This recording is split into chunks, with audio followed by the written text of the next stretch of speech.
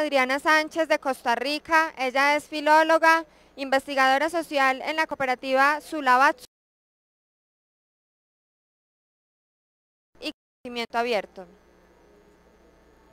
Buenos días, muchas gracias por estar acá. Em, bueno, comencemos con un par de cosas tal vez un poco más básicas. Ustedes conocen el término conocimiento abierto, lo manejan, saben qué es. ¿No lo conocen? Bueno, vamos a comenzar entonces por ahí para después hablar de por qué este tema es un tema interesante e innovador dentro del ámbito empresarial en la actualidad. Eh, ustedes saben que mm, nosotros tenemos un modelo eh, de propiedad privada en el que nos desarrollamos como sociedad y este modelo de propiedad privada es un modelo que abarca una gran cantidad de productos y de servicios que generamos como seres humanos. El conocimiento que se transforma en información es uno de estos productos que tienen eh, propiedad intelectual y que se manejan eh, dentro del ámbito de los derechos de propiedad intelectual en todas las sociedades. Entonces, el conocimiento abierto más bien es una nueva forma de acercamiento, es un paradigma un poco distinto tal vez, en el cual eh, compartimos de manera más amplia, de manera más abierta, como lo dice su nombre, eh, lo que conocemos con un fin eh, que es muy, muy importante, que es el de mejorar lo que sabemos. Sea, partimos de, una hipótesis que ya se ha comprobado a lo largo de muchísimos trabajos y a lo largo de muchos intercambios, y es que lo que yo sé eh, se va a, a aumentar su valor y va a ser más innovador, va a, aumentar su caudal si yo lo comparto con ustedes y ustedes me cuentan qué es lo que ustedes saben a mí. Entonces el conocimiento abierto pues va por ahí, es una manera que tenemos de distribuir la información de manera que más personas puedan acceder a ella sin que tengan limitaciones en términos de, la parte económica, por ejemplo, que no tengan que pensar, bueno, no puedo acceder a esta información porque no puedo pagar por ella, o que no tengan otro tipo de limitaciones como el acceso a los formatos, que muchas veces son formatos cerrados y que no le permiten a la gente acceder a ellos. Entonces, el, el, término conocimiento abierto va por ahí. Y ahora vamos a hablar un poquito de por qué está ligado con la empresariedad. Este, como les decía Maritza, por acá tenemos un par de, regalos para, el final, entonces pues vamos a estar revisando algunos conceptos sobre los que vamos a hablar al final para ver eh, quién se va a llevar esos, regalitos que tenemos por ahí. Eh, bueno, si estamos hablando de empresariedad y conocimiento abiertos, porque vamos a partir de que efectivamente eh, existen empresas de conocimiento abierto y el conocimiento abierto pues, puede generar modelos empresariales. Y una empresa de conocimiento abierto, esta es una definición tal vez un poquito vieja, pero a mí me parece que es muy acertada, este, que les, les voy a pedir que por favor la tengan por ahí en la cabeza porque la vamos a retomar hacia el final. Una empresa de conocimiento abierto es aquella donde la transparencia, el intercambio y la producción en pares están en la base de la estrategia empresarial. ¿Y por qué vamos a tratar de valorar este tipo de acercamiento a la empresariedad? Eh, muchas de las organizaciones para las que trabajamos, eh, las personas que ya estamos trabajando, sabemos que hay algunas personas por acá que en este momento se encuentran todavía estudiando y pues no, han comenzado a trabajar, este, pues podemos contemplar algunos acercamientos. Y ahora más adelante vamos a ver de qué se trata eso de la producción en pares. Tenemos una estrategia empresarial que es un poquito diferente a la estrategia de una empresa tradicional, que más adelante vamos a revisar un poquito las empresas tradicionales, cómo se manejan en este sentido.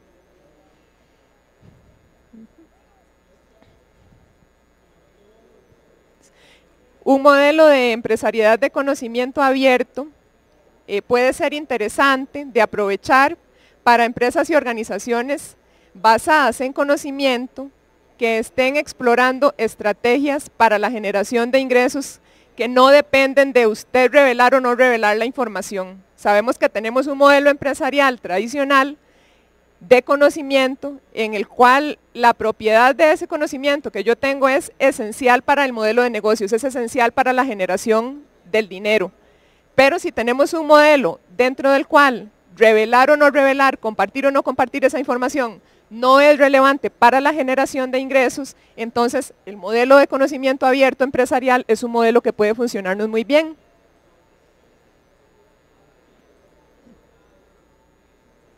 Y aquí nos podemos hacer un par de preguntas. ¿Cómo puedo generar ingresos al compartir información en Internet en lugar de no compartirla, en lugar de esconderla? ¿Y cómo puedo generar ingresos al trabajar en sociedades abiertas, con comunidades, con otra gente que me ayude a enriquecer este conocimiento, que enriquezca el conocimiento que mi empresa tiene a partir de su expertise externa, de su mirada externa? Son dos preguntas muy importantes que debemos hacernos a la hora de hablar de este tema. Y entonces, bueno, ahora vamos a hablar un poquito ya detenidamente del tema empresarial, que es un tema que muchas veces nos resulta un poquito aburrido, pero que es muy importante. Este, yo les voy a, conversar un poco más adelante sobre la experiencia nuestra en la cooperativa Sulabatsu en Costa Rica, que es una empresa conformada en su totalidad por personas jóvenes, menores de 40 años, este, que somos emprendedores y emprendedoras y que decidimos adoptar ese modelo porque no queríamos trabajar para alguien más. Queríamos generarnos nuestro propio negocio, nuestro propio ingreso y no ser empleados de otra persona que tuviera la iniciativa. De manera que lo que estábamos haciendo fuera algo que nos iba a generar beneficios directamente a nosotros y no un beneficio indirecto a partir de lo que se le estaba generando a alguien más tenemos un, contexto que está caracterizado por la importancia que le damos a la información. En este momento estamos en una sociedad que se ha llegado a llamar la sociedad de la información, la sociedad de la información y el conocimiento posteriormente. Y este contexto también está marcado por la popularización de Internet. Entonces, pensemos que estamos pasando, estamos migrando de una sociedad de producción y consumo de bienes y servicios que están en manos de una poca cantidad de gente a una sociedad en la que la proliferación de las tecnologías nos permite que los medios de producción estén en más manos.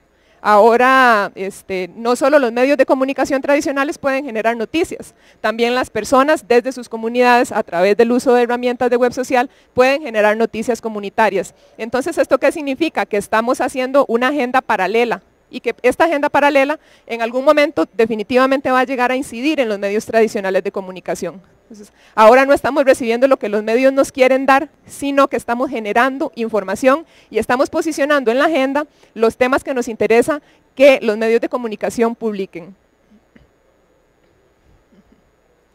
Y dentro de todo este asunto, dentro de todo este modelo de la sociedad de la, de la información y el conocimiento, este, pues estamos cambiando también los valores económicos. Tenemos valores de cambio que son lo que tradicionalmente entendemos como lo que yo te cambio por algo. Y tenemos un modelo tradicional que es el que me dice, yo te compro un servicio o un producto y te lo pago de manera inmediata y vos me das ese producto o ese servicio a cambio del dinero que yo te estoy pagando. Tenemos ese modelo que es el tradicional. Entonces, A produce, B le paga y A le devuelve a B un producto por ese pago que B le dio. Entonces ese es un modelo tradicional dentro del cual cada vez nos estamos moviendo menos.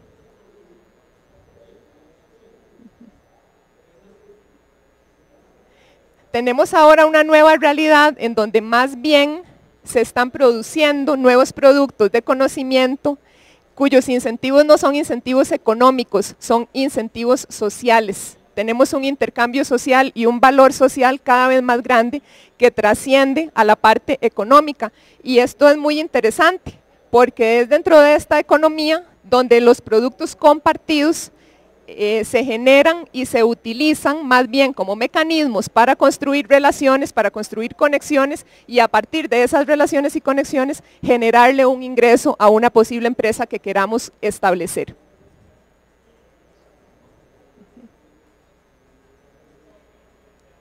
Entonces tenemos una economía comercial, que es la primera de la que les hablé, en donde el valor de cambio es directo y es yo te cambio un producto por dinero, y tenemos una economía más bien participativa en donde el incentivo es completamente social, no tenemos un valor de cambio monetario.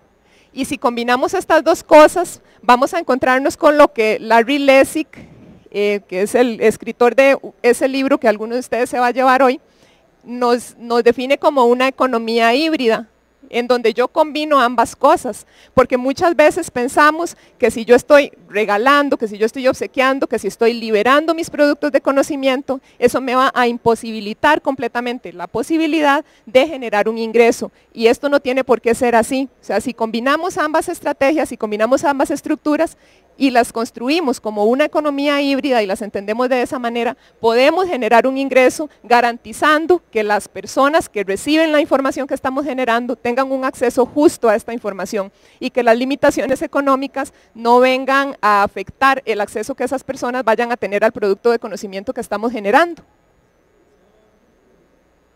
Y aquí tenemos una definición de economía híbrida. Tenemos una entidad comercial que apunta a impulsar el valor desde una economía participativa o bien una economía participativa que construye una entidad comercial para apoyar eficientemente sus objetivos comunes.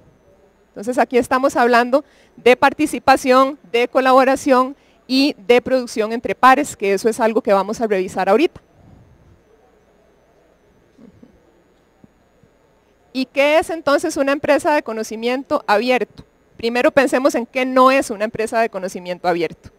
Tenemos una empresa tradicional que tiene sus límites, sus estructuras jerárquicas de toma de decisiones y en donde la generación de recursos va a depender estrictamente del acceso restringido a la información.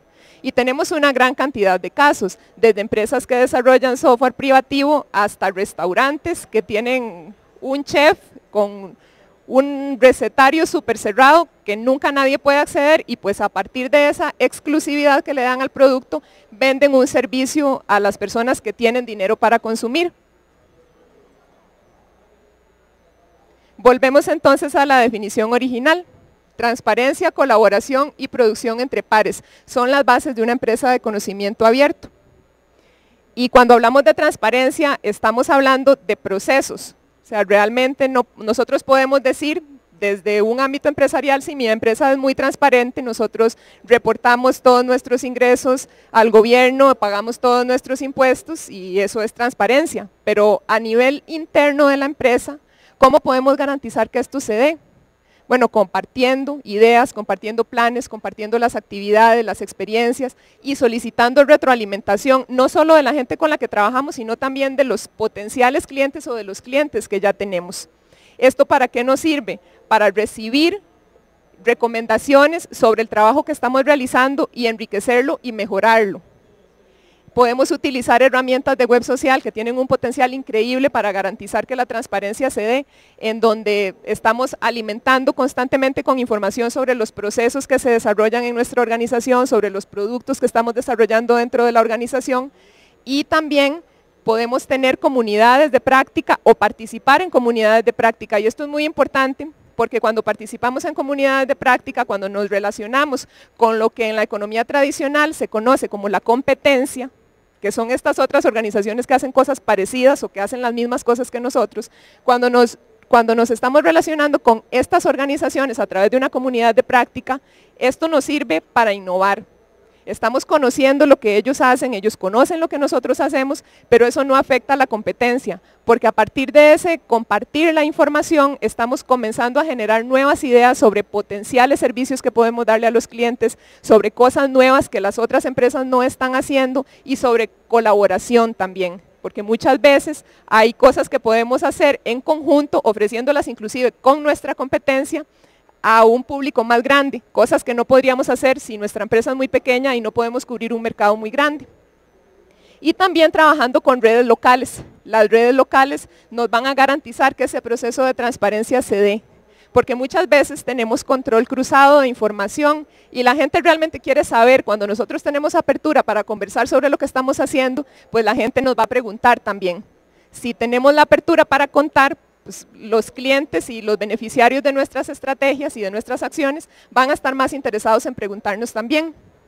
Entonces aquí es clave que construyamos relaciones con los aliados y que impulsemos el uso de medios sociales, no necesariamente eh, tiene que ser internet, podemos hablar de telefonía móvil desconectada, hablemos de cualquier tipo de tecnología que nos permita un acercamiento con la gente con la que estamos trabajando En ese sentido, pues incluso hasta la mensajería de texto es efectiva, las llamadas telefónicas son efectivas y hay muchas estrategias que se utilizan dentro de los modelos empresariales más tradicionales que nos pueden servir también pero utilizándolas en una doble vía y no necesariamente pensando en publicidad, por ejemplo, que la publicidad pues es algo que nosotros generamos y que va hacia el cliente, pero no necesariamente tenemos una retroalimentación de él. Otro de los componentes de esta empresa de conocimiento abierto es la transparencia, eh, perdón, la participación. Este, tenemos el intercambio de conocimientos, que es una clave, una clave de la producción dentro de las empresas de contenido abierto. Eh, dentro de las empresas tenemos apertura para compartir y tenemos unas estructuras menos jerárquicas en donde las personas que están trabajando con nosotros tienen la posibilidad compartirnos estrategias, de compartirnos sus ideas, de proponer nuevos productos y esos productos a través del intercambio de conocimiento podemos enriquecerlos y podemos convertirlos en un producto efectivo para vender de nuestra empresa. Y el trabajo de participación lo podemos garantizar a través del uso del licenciamiento abierto, que yo no sé también si este es un tema con el que ustedes están familiarizados y familiarizadas, si conocen el término de licenciamiento abierto.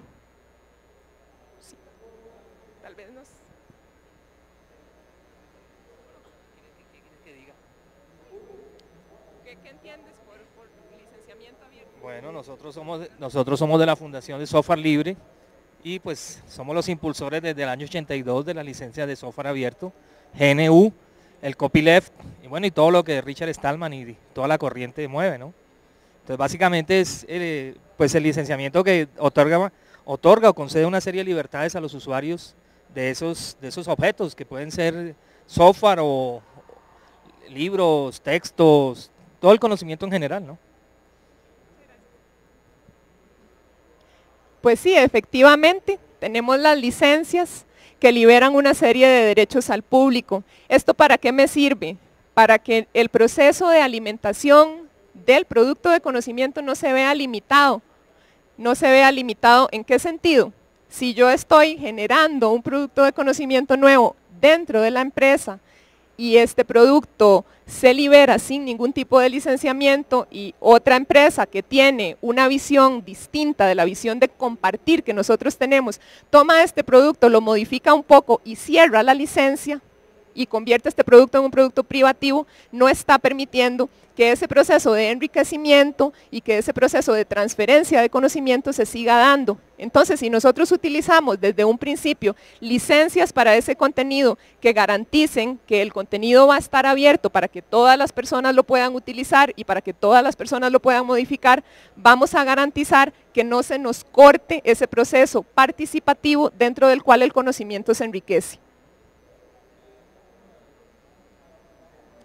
Y la famosa producción entre pares, de la que ya hemos hablado un poquito, es una estrategia que se basa justamente en el trabajo en redes y en comunidades. ¿Esto qué significa? Que yo no voy a monopolizar el conocimiento en una sola persona y esto es clave para una empresa que quiera trabajar con una iniciativa como esta. Si nosotros tenemos el conocimiento monopolizado en una sola persona, si esa persona se va de la empresa, nos quedamos sin ese producto de conocimiento. Entonces la producción entre pares nos garantiza que haya más de una persona involucrada en la generación del producto de conocimiento, de manera que si alguien se va, pues quede otra persona que tiene el conocimiento y que puede seguirlo compartiendo con los demás miembros de la empresa. Entonces esto es clave porque sabemos que en las empresas que generan productos de conocimiento, el valor agregado principal son las personas que están allí y el conocimiento que tienen. Y si este conocimiento se monopoliza, pues no lo vamos a poder compartir de una manera efectiva y no vamos a poder innovar a partir de él. Entonces, bueno, aquí tenemos un pequeño esquema de conocimiento abierto en donde creamos el producto, lo liberamos a través de licencias abiertas, solicitamos ayuda a las redes y comunidades para mejorarlo y así ampliamos la calidad del producto generado a través de un proceso de colaboración. Como pueden ver es un esquema bastante sencillo y ahí se resume un poco qué es lo que una empresa de conocimiento abierto hace para generar de manera efectiva un producto de conocimiento que pueda ser distribuido, incluso generando ganancia para la empresa. ¿Tienen alguna pregunta hasta ahora?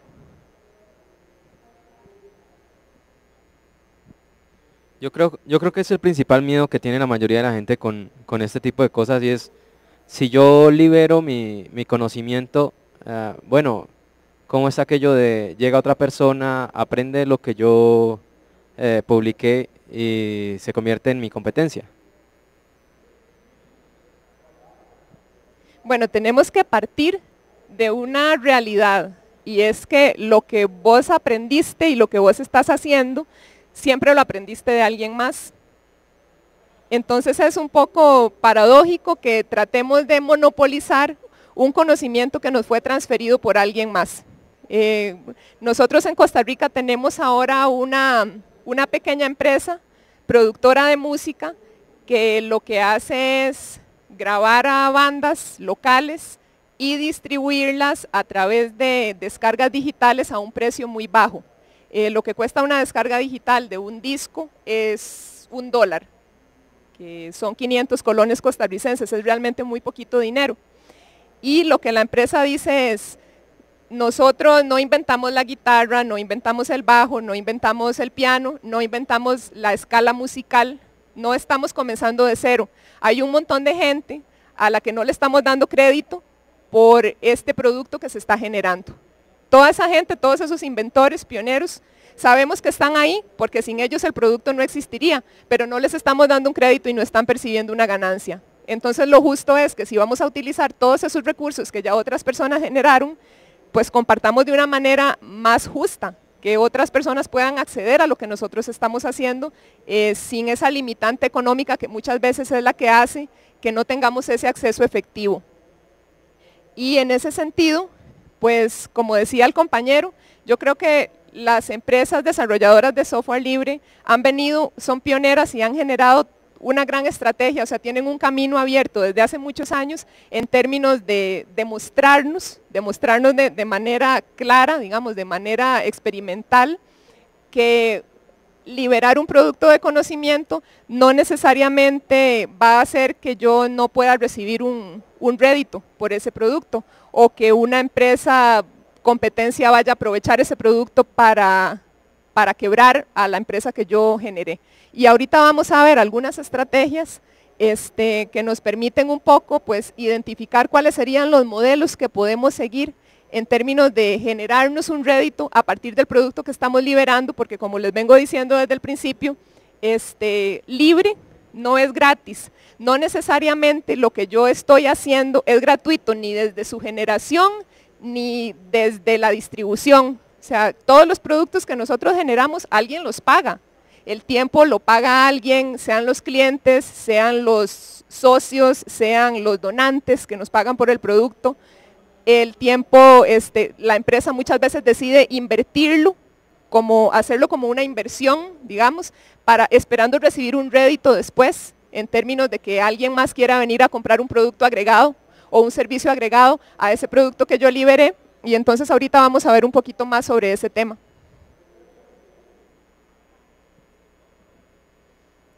Bueno, tal vez vamos a pasar un poco ya a los conceptos de valor de cambio que responden, creo yo, muy bien a esta pregunta que estás haciendo.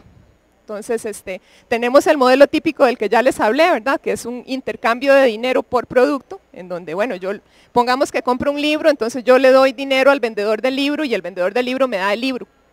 Y el intercambio ocurre inmediatamente y de manera directa. O sea, yo, yo vengo, te compro y me das. Y te compro a un precio que ya está establecido. Pero tenemos otros modelos no tradicionales que son bastante efectivos para las empresas de conocimiento abierto. Eh, por ejemplo, los pagos a plazos, en donde el valor de intercambio no es inmediatamente dado. Este, más bien tenemos fechas de pago posteriores, tenemos este, intercambios que no son completados inmediatamente. Y tenemos intercambios indirectos, en donde el intercambio también se da en una fecha posterior, pero no necesariamente yo estoy pagando por un producto, sino que estoy pagando por un beneficio indirecto que ese producto me da. Y ahorita vamos a detenernos un poquito sobre ese tema. Tenemos algunas estrategias acá que nos van a servir para aumentar el flujo de ingresos en la empresa de conocimiento abierto. Eh, una estrategia, por ejemplo, puede ser la venta de complementos. Este, muchas veces el producto para lo que nos sirve es para desarrollar nuestra reputación, para que nuestra empresa se posicione en el mercado. ¿Y cuál es la manera más efectiva de hacerlo? Pues liberando el producto y que la gente lo pueda probar, que la gente lo pueda descargar, que lo tengan en su computadora, que lo usen en su casa y que vean que efectivamente es un producto que funciona. Así yo me estoy ganando el reconocimiento de mis clientes y puedo después pensar en venderles productos complementarios. Entonces, lo, que, lo primero que hacemos es liberar el producto para aumentar la visibilidad de la empresa, para construir la reputación y para generar confianza con los potenciales clientes. Y esta, esta confianza, esta exposición me va a generar una demanda de otros productos complementarios y de otros servicios que la empresa vende.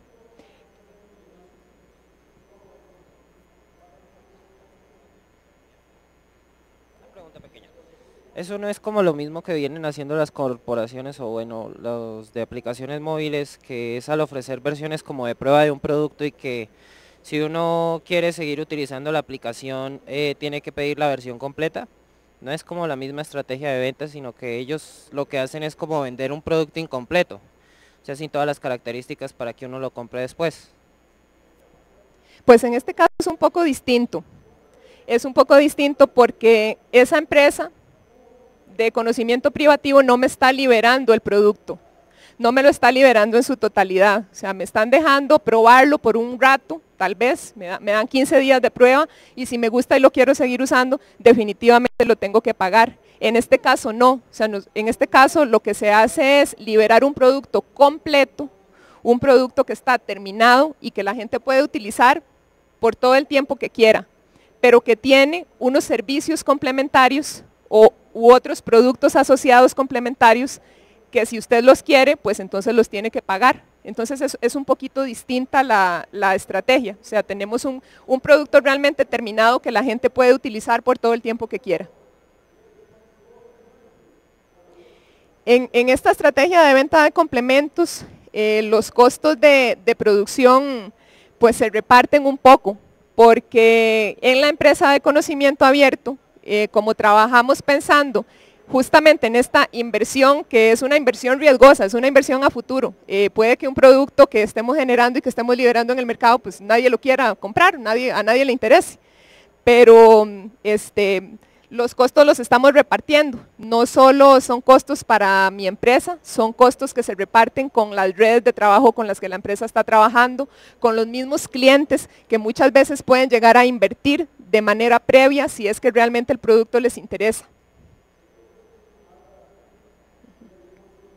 Y en ese sentido, pues tenemos dos versiones de la, de la estrategia de venta de complementos, que son el desarrollo del mercado, en donde utilizando esta estrategia de la que acabamos de hablar, escalamos de un modelo muy pequeño a un modelo bastante más grande, en donde tenemos un mercado más amplio. Entonces es una buena estrategia pues, para aumentar las ventas o para este, promocionarnos y proyectarnos en un espacio más grande, con una mayor cantidad de personas y potenciales clientes. Y también pues, podemos obsequiar lo que otras empresas venden, que es una estrategia bastante efectiva. Entonces captamos a los potenciales clientes a partir de ofrecer de manera gratuita un producto que ya está en el mercado y que otras empresas lo venden y pues a partir de ese amarre que yo hago con el cliente, eh, pues comenzar a ofrecer otros servicios complementarios. Y este modelo pues es un modelo que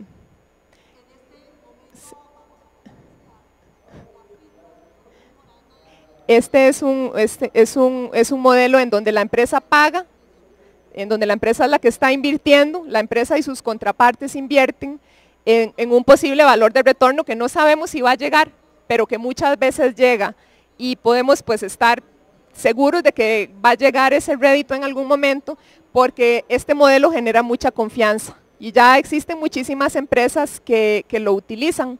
Entonces, por ejemplo, digamos, un, un, buen caso de éxito son las empresas desarrolladoras de software libre que comparten de manera gratuita las distribuciones de sus productos y venden servicios agregados, servicios complementarios. eh, se venden contratos de soporte técnico, se venden este, contratos de asistencia remota o de asistencia presencial y algunos otros servicios agregados en términos de adaptar los productos a las necesidades de la empresa de una manera más concisa, este, pero siempre tenemos un producto inicial que se está liberando al mercado de manera gratuita y también con una licencia de contenido abierto que garantiza que el producto se mantenga así en el mercado. También tenemos otra estrategia que es la llamada venta de mejoras, en donde tenemos un producto digital, digamos, que mm, se comparte para promover la venta de una versión mejorada. Este, y en este sentido, pues aquí aplica que si tenemos un, producto de conocimiento que lo tenemos en formato digital y lo ofrecemos de manera gratuita en formato digital, una edición de lujo, por ejemplo, este, impresa y paga, es bastante efectiva para desarrollar un vínculo con los clientes. Esto funciona bastante bien en el ámbito de la música. Eh, hay muchas empresas pequeñas en países de América Latina que ya están desarrollando ese tipo de iniciativas y que lo que hacen justamente es, bueno, poner en internet un producto digital a muy bajo costo o gratuito que las personas utilizando una licencia de contenido abierto pueden descargar de manera legal, pero también hay un producto estrella que es impreso, un producto físico que es más bonito, que tiene muchos valores agregados, que trae un libro, que trae una camiseta, eh, que trae entradas para un concierto. Y este producto, pues quien lo quiere comprar, en muchos casos puede reservarlo de previo y hacer la inversión previa para que los costos sean compartidos. Y si no, pues entonces el producto se encarga y se compra y es un poco más caro, tiene un valor un poco más alto que el producto que se está distribuyendo de forma digital y también pues la venta de servicios, en donde el apoyo más básico, digamos, el soporte técnico más básico a través de correo electrónico, por ejemplo, se da de manera gratuita, pero otros servicios de apoyo técnico especializados se pueden vender. En estos casos que estamos mencionando de la venta de mejoras, este, las versiones gratuitas no sustituyen el producto que se está el producto que se está queriendo vender. O sea, las versiones que están digitalizadas en Internet no son sustituto de, las versiones actualizadas o de las versiones mejoradas. Y esto es, clave para, que la estrategia funcione. ¿no? Aquí también, de nuevo, tenemos una empresa que está invirtiendo en un posible valor de retorno y el cliente lo devuelve directamente. Entonces aquí sí, digamos, estamos como ven combinando las dos estrategias, ¿verdad? O sea, más de la, del incentivo social y luego el incentivo económico. Entonces yo como empresa genero el incentivo social para que el incentivo económico que es potencial se llegue a concretar cuando el cliente quiere comprar un producto mejorado que yo le estoy ofreciendo. Y este modelo pues es funcional porque incrementa el valor y la calidad y tiene una reducción significativa de los costos para la empresa. O sea, si yo tengo una editorial y estoy imprimiendo una cantidad muy grande de libros sin saber si los voy a poder colocar en el mercado, estoy haciendo una inversión de muy alto riesgo. Pero si yo libero el producto para que la gente lo conozca y después lo imprimo a partir de la demanda que ya los clientes están generando, entonces no voy a tener ninguna pérdida a la hora de hacer el producto físico. Tenemos también otra parte de la, de la estrategia de venta de mejoras, este, que consiste en vender lo mismo que se ofrece de manera gratuita. Y este medio, pues, este, es bastante común, digamos, se utiliza muchísimo, ¿no? O sea, yo la, descarga gratuita de un producto, pues, la, dejo allí en línea para que la gente la utilice y vendo exactamente el mismo producto, pero ya en un formato físico o en un formato de distribución. Y pues a mucha gente esto le va a servir, sobre todo en espacios en los que tengamos una conectividad muy baja y las descargas sean difíciles de hacer, o en caso de productos que sean muy pesados y que ocupen mucho espacio en la computadora a la hora de ser descargados, que de repente si los damos en un disco compacto o en una llave USB, pues para la gente pueden ser más atractivos también. Y sí, bueno, efectivamente funciona porque el medio de almacenaje tiene un valor preferencial para la gente. Todavía tenemos que entender que aunque estemos moviéndonos más en los espacios digitales, todavía existe una cultura del consumo de producto físico y pues eso es algo que las empresas de conocimiento abierto siguen aprovechando hasta el día de hoy y yo creo que lo van a seguir aprovechando durante mucho tiempo más. Este, Un ejemplo de, este tipo de, estrategia es Canonical, que ofrece, digamos, un servicio de asistencia personalizada a un costo accesible, aunque haya en el mercado foros gratuitos en donde la gente puede acceder a hacer sus preguntas sobre ciertos problemas técnicos que tienen con el uso de servicios este, y de productos de Linux. Entonces, este, pues también tenemos que entender que hay muchísimos usuarios finales que no necesariamente eh, están familiarizados con el uso de foros o que no necesariamente se mueven bien dentro de ese tipo de espacios. Así como creo la, hay muchísima gente que también se mueve de manera muy sencilla en este tipo de espacios, pues otros usuarios no. Y este tipo de usuarios son los que prefieren contratar un servicio un poco más personalizado, aunque la versión gratuita esté disponible. Otra estrategia de la venta de suscripciones. Eh, los productos son compartidos, pero algunas de las características son solo para suscriptores. Y aquí pues hay una gran cantidad de variaciones. Están desde las suscripciones en espacios en web, en donde yo pago para acceder a la noticia media hora, una hora antes de que se haga pública. O este, revistas especializadas, en donde yo para acceder a la información de manera inmediata pago, pero la empresa posteriormente, seis meses, un año después, libera todo ese producto para que el resto de la gente lo pueda ver también.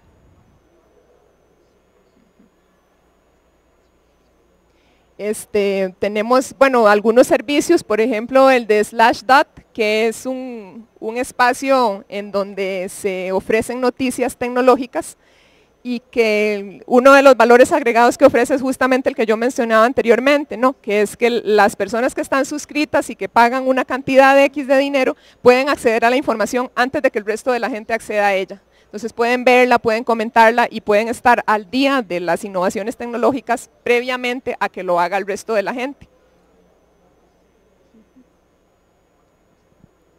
Otra estrategia de las empresas de conocimiento abierto, que es una que se utiliza muchísimo en la empresa en la que yo trabajo, es la inversión para generar nuevos recursos. En ese sentido, pues se hace una pequeña apuesta, hay un tema que no se ha desarrollado, un tema innovador en el que queremos trabajar, eh, se trabaja en ese tema con recursos propios, se generan productos de conocimiento con recursos propios de la empresa y cuando esos productos se visibilizan a través de internet, y son conocidos por la gente, este, si son de interés para algún organismo donante, por ejemplo, este, pues entonces se puede conseguir una donación o se puede conseguir el financiamiento de una, de una aplicación más grande de ese mismo proyecto que ya se generó dentro de la empresa.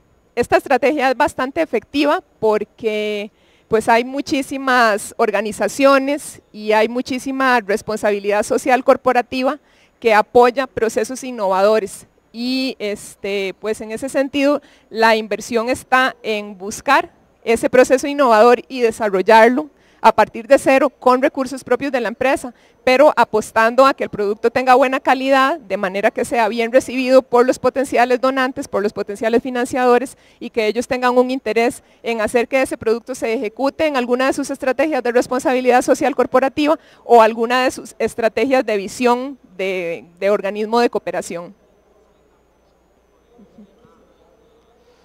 Y aquí pues lo que hay que considerar muy bien es si los valores de la empresa en la que nosotros trabajamos este, son compartidos con el financiador, porque si no son compartidos con el financiador, pues es muy probable que la donación no se dé, que el financiamiento no se dé o que haya problemas a la hora de la ejecución.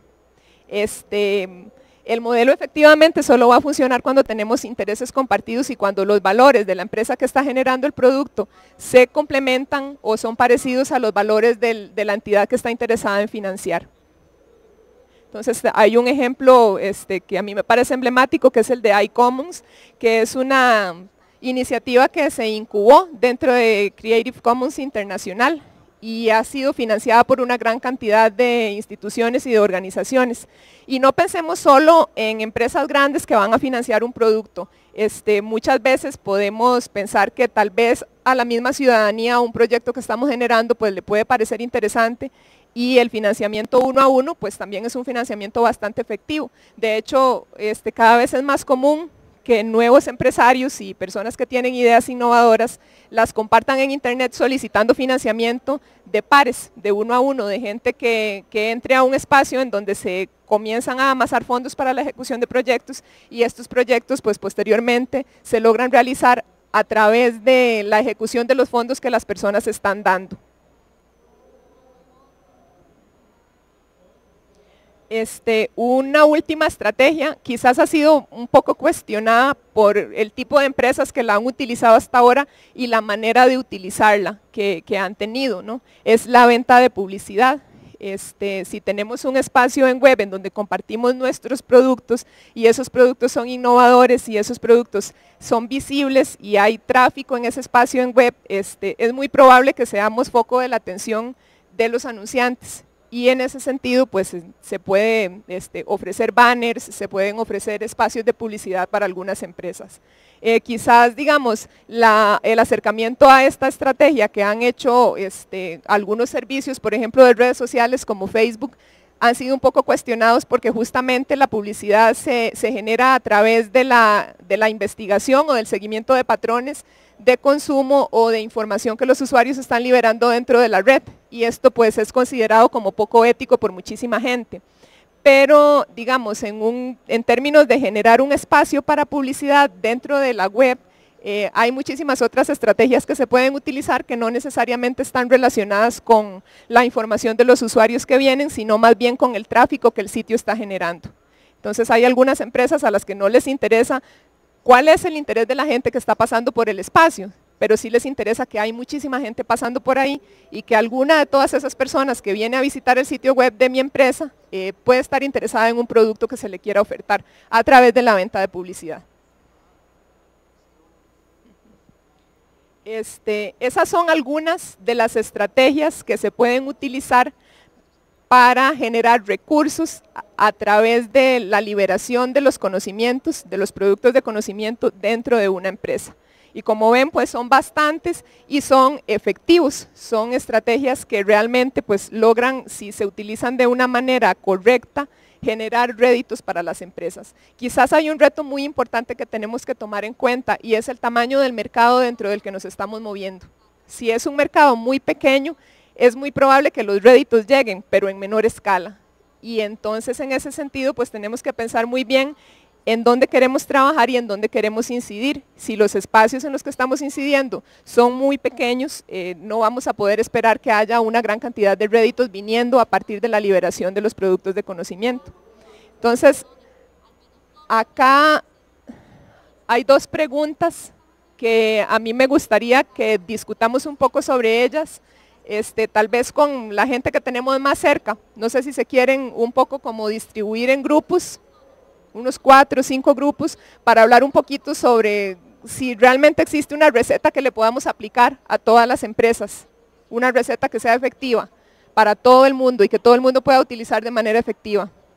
Y si conocemos alguna experiencia significativa dentro del ámbito del conocimiento abierto, porque tal vez la teorización esto que hemos estado haciendo acá de revisar los modelos y ver las estrategias es algo que, es muy, muy nuevo, pero en realidad compartir conocimiento es algo que como seres humanos hacemos de manera natural todos los días. Es un proceso muy natural que nos ayuda a vivir en sociedad. Entonces tal vez ustedes conozcan algunas iniciativas interesantes que nos quieran compartir.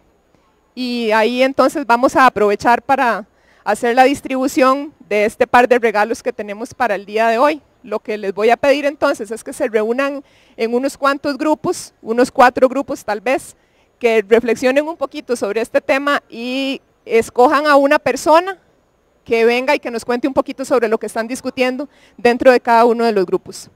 Y pues ahí con la participación vamos a, ver quién se lleva los, los premios que tenemos para el día de hoy, que recuerden que son el libro Code de Lauren Slesik, que es un libro muy bonito, muy bonito realmente, muy interesante.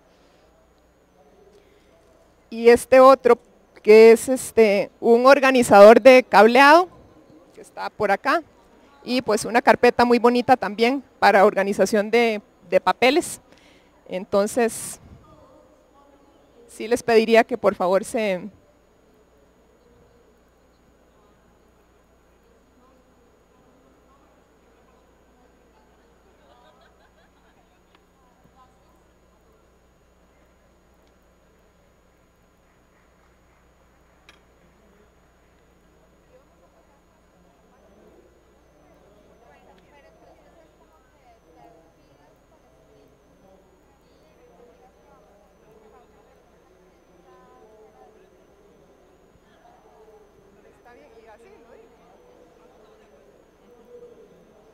Bueno, vamos a cerrar ya la, transmisión este, y vamos a seguir trabajando aquí un poquito entre nosotros. Entonces, este, muchísimas gracias por haber participado y por haber estado por acá escuchando este, sobre este tema de conocimiento abierto y empresariedad.